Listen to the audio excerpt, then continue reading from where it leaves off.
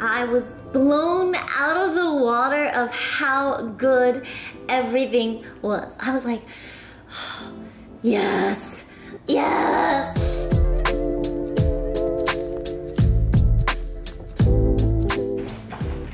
Hello, it's it's a it's me. So when I went to go record some footage, I didn't realize that my microphone didn't have a battery in it, so it didn't capture any sound while I was out and about. I am praying my editor YouTube Kun can uh, fix and make this work. Please work your magic. Thank you, oh God, Lord Almighty. Amen. I did want to share with you the experience I had trying out a new izakaya, a Japanese bar with my friends Harmony and her boyfriend Brian. So the bar we went to is really new and it just opened up. It's actually called Tokei.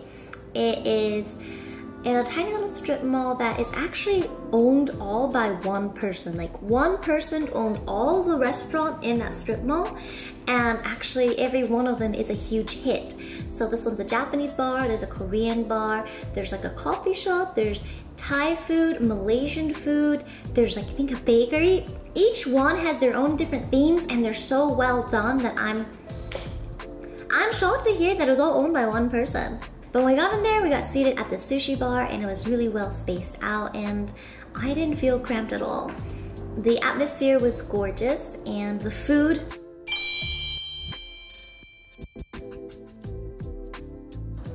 delicious. I have to say the things that we ordered were pretty wild in. So we got something called, um, we had something with like octopus and wasabi, we had really cute octopus skewered. We had fried oyster and fried croquette and takoyaki.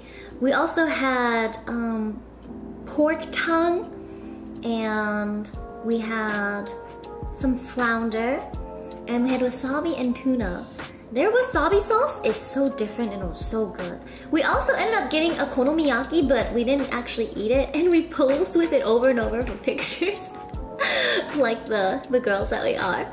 I think this place is perfect for date night. I actually think that if you brought a girl there, ordered whatever was on their their their menu, it would be a super hit. Like this one is impressive. It's very good atmosphere. It's nice food that you guys can talk about the food and, you know, still engage and have conversations. So I really like it. There's also ramen and stuff there that I want to check out next time because, you know, your girls always down for a ramen review. But overall, I would say I was blown out of the water of how good everything was. I was like, yes, yes, yes, yes.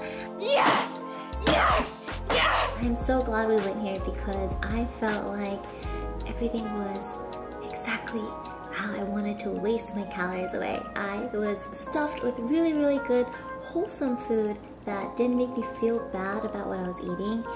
And damn, was it so good! I hope you enjoyed seeing all the amazing B-roll and the food and I apologize for the lack of sound. I'm I am just so sad that I missed being able to share the full experience with you guys. And promise I won't have this happen on my next few vlogs. I promise, promise, promise.